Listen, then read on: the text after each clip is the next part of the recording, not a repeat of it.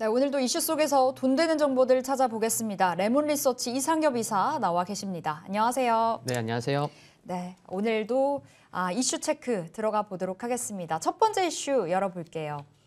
자, 오늘 첫 번째 이슈는 시장 이야기 나눠보겠습니다. 1월 효과가 올 확률이 70% 된다. 코스닥 반등 여력은 더 높다라는 이야기가 나와주고 있는데요. 자, 우리 이사님에 대한 이사님의 그 관점 한번 들어볼게요. 이사님, 일단은 올 한 해 증시 참 험난했는데 어떻게 평가하시나요?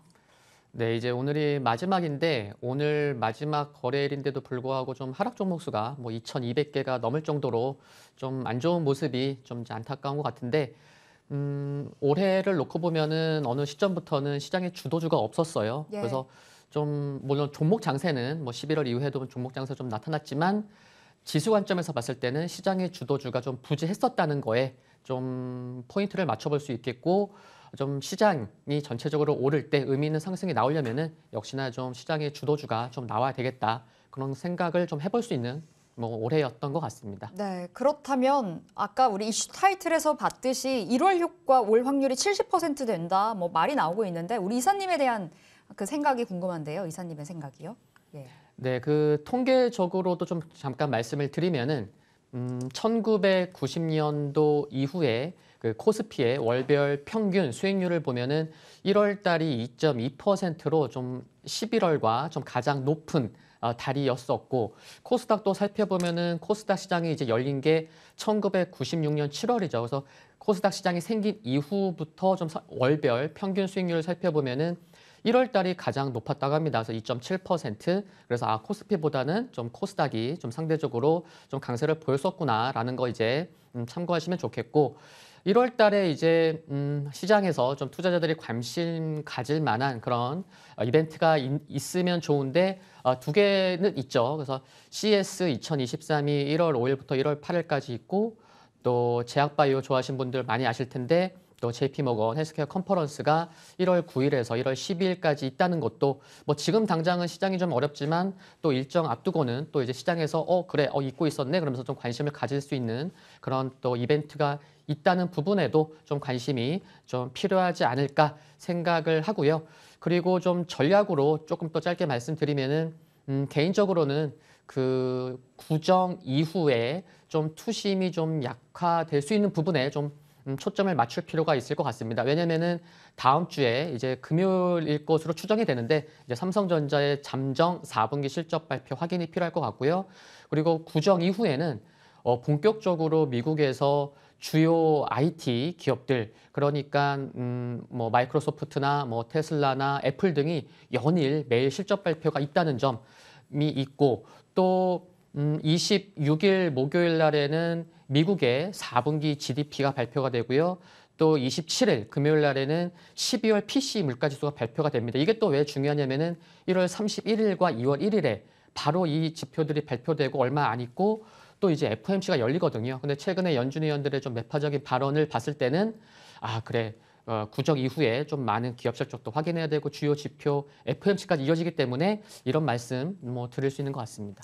예, 참 챙겨봐야 될 이슈가 많은 듯한데요. 그럼 1월 효과가 있다라고 봤을 때는 어떤 업종에 우리가 주목을 해볼 수 있을까요? 네, 뭐 코스피보다는 코스닥 쪽에 좀 관심이 좀 더 뭐 가져야 되는 게 아닌가 싶고 그리고 음, 최근에 시장이 어려운 가운데서도 계속해서 중국과 관련된 섹터들 굉장히 많죠. 뭐 호텔, 레저, 뭐 어, 그리고 이제 화장품 등등이 있는데 이게 오늘부터 좀 게임주로 예. 예, 또 이렇게 좀 음, 매수세가 좀 강하게 들어오는 모습을 봤을 때는 이런 게 뭐 짧은 것보다는 좀 1월 달까지도 좀 관심이 필요한 게 아닌가 싶어서 게임주 이게 또 중국과 관련된 모멘텀 훈풍이 불었기 때문에 어 그래 큰 흐름에서는 어 중국 쪽 관심 필요하다는 면에서도 게임주 1월 달에도 좀 관심 지속 필요하지 않을까 네 그런 생각입니다. 예, 저희 게임주는 아, 두 번째 이슈로 빼놨기 때문에 또 자세하게 한번 짚어보도록 하겠고요. 앞서 말씀 주셨듯이 CES 그리고 JP모건 헬스케어 컨퍼런스가 또 1월에 가장 중요한 키포인트 아니겠습니까? 그 재료로 봤을 때 어떤 종목 괜찮을까요? 음, 뭐 바이오는 참 이게 꼽기가 참 어려운데 네. 일단 뭐 대형주 이렇게 매매를 하지 않아도 네, 대형주 중심의 이제 흐름이나 이제 수급은 꼭 체크할 필요가 있을 것 같고요.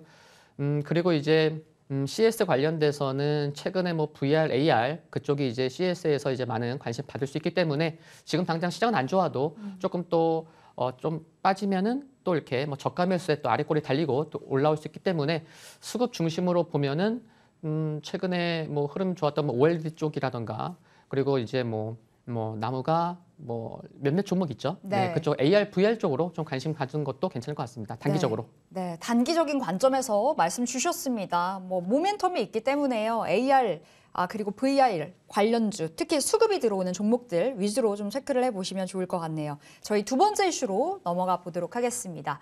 자 오늘 빼놓을 수가 없는 이슈입니다. 아 게임주 드디어 올라갈 것인가? 이제 중국으로의 수출 빗장이 열렸다라는 평가 나와주고 있는데 5년 만이죠. 아, 이제 한국 게임사들 판호 발급 대거 나서면서 오늘 관련주들 뭐 날아갔습니다. 게임주에 대한 관점 지금 어떠신가요? 네, 게임은 이제 한한령 해제 기대감 이제 그런 연장선 상에서 이제 게임주까지 드디어 이제 좋은 모습 보이는데 음, 게임주 같은 경우는 이제 드라마에 비해서 이제 유통 제약이 좀 컸었는데도 불구하고 좀 대거 이제 판호 발급을 받은 게 좀 긍정적인 것 같고요. 일곱 개 이제 국내 기업 일곱 개 받았는데 음, 그 중에서 어, 무려 세 개씩이나 또 이제 넷마블이 이제 판호 발급 받았기 때문에 어, 어제 시간에 단일가에서도 상한가 보였고 오늘도 어, 흐름 좋은 모습인 것 알 수가 있고요. 그리고 이제 지난달을 보면 이 판호 발급이 어, 오늘 나온 게 아니고 판호 발급 이제 소식은 이제 오늘 나왔지만 중국에서 그 허가가 떨어진 거는 아, 이번 달 12월 10일이라고 얘기를 해요. 그렇다고 하면은 한 달 전으로 딱 돌이켜서 기억해 보면은 한 달 전에 약 한 달 전에 중국 관영 매체에서 어, 게임은 이제 앞으로 성장할 산업이다라는 얘기가 있었죠. 그래서 어, 그런 긍정적인 발언 이후에 한 달여 만에 판호 발급 허가가 에, 나온 것을 봤을 때는 어, 굉장히 빠르게 좀 돌아가는 그런 흐름도 에, 긍정적이라 이제 말씀드릴 수 있겠고요. 그리고 이제 게임주 같은 경우에는 올해 참 힘들었죠. 뭐 실적도 그렇고 어, 신작도 그렇게 많지 않았고 신작 나온다고 하더라도 흥행에 실패했고 근데 내년은 좀 다르죠. 신작도 어, 많고 또 오랜만에 또 이제 부산에서 이제 음, 게임쇼 이후에도 뭔가 그런 기대감을 좀 가질 수 있는 그런 이제 큰 행사도 이제 열렸었고 그래서 이런 가운데에 플러스 알파로 예, 중국에서의 또 판호 발급 소식도 있었기 때문에 어, 올해보다는 예. 내년에는 좀 더 관심이 에, 필요한 게 아닌가 생각이 들고 한 가지 단기적인 관점이 아니고 중장기적으로 좀 체크해야 될 필요가 있다는 부분 좀 말씀 하나 드리면은 어, 작년 6월에 펄어비스의 이제 검은 사막 모바일이 판호를 발급받고 바로 출시된 게 아니고 올해 4월에 출시됐거든요. 근데 기대가 좀 컸었는데도 불구하고 어, 정작 흥행에는 성공을 하지 못했어요. 그렇기 때문에 판호 발급으로 인해서 굉장히 오랜만이다 보니까 기대감으로 상승을 하지만 이 출시되는 것도 좀 시간이 걸리고 출시된 이후에 흥행까지 아 그래 좀 그래서 중기적으로 좀 음, 관심을 가져본다고 하면은 출시와 흥행까지도 좀 살펴볼 필요 있겠다라는 것도 중기적으로는 관심 필요한 것 같습니다. 예. 어, 게임주가 무언가의 이슈로 좀 올라갈 때 그때 많은 어, 이야기가 쏟아졌었죠. 중국의 외자 판호 발급 안 되면 사실상의 주가 상승 무의미한 거다라는 말이었는데 아, 주- 오늘의 좀 이슈가 어느 정도 반등의 트리거가 됐으면 좋겠습니다. 자 그러면 중장기적으로 좀 바라보면 좋겠다 말씀도 주셨는데요. 네. 그 안에서의 탑픽 종목 들어볼게요.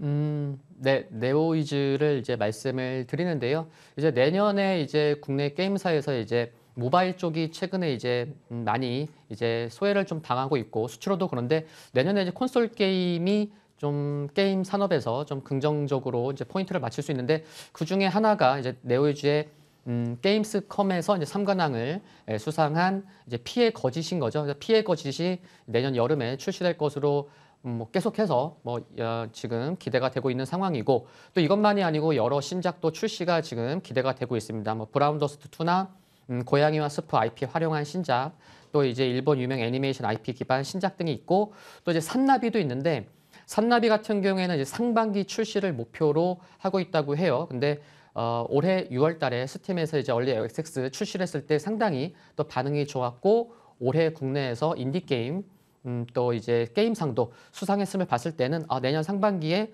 어, 이제 요 산나비 쪽도 관심이 필요할 것으로 생각이 들고 흐름을 살펴보면은 음, 생각보다는 지수 대비해서는 어, 그래도 고가권에 예, 흐름을 보이고 있는데 그런 부분도 양호하고 외국인과 기관의 수급도 뭐 꾸준히 하반기 들어서는 이어지고 있고 흐름은 보면은 한약한 3만 5천 원 전후에서 한 4만 1천 원 전후에 박스권에 좀 갇혀 있는 모습인데 뭐 당장은 박스권 내에서 움직일 거라고 생각은 드는데 그래서 뭐 매매를 하신다고 하면은 뭐 단기 뭐 이렇게 좀 음, 큰 흐름이 나오기 전까지는 뭐 박스권 매매도 좀 전략으로 삼아 볼 수 있겠다라는 말씀 드릴 수 있겠고요.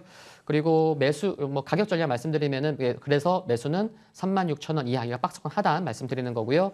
그리고 매도는 뭐 단기적으로는 이제 박스권 상단이 뭐한 4만 원, 4만 1천 원이겠지만 뭐 2천 목표가까지 살펴보면은 한 4만 4천 원까지도 볼 수 있지 않을까 생각 들고 손절 가격은 3만 3천 원 네, 제시하겠습니다. 네, 이선님의 게임주 내에서 top pick은 네오위즈로 받았습니다. 차트 읽어보니까 올 한 해 여타 다른 게임사 대비 굉장히 선방하는 흐름을 보였더라고요. 다시 한번 아, 좀 시세 상승 기대해 보도록 하겠습니다. 목표가 44,000원, 손절가 33,000원 안내 주셨네요.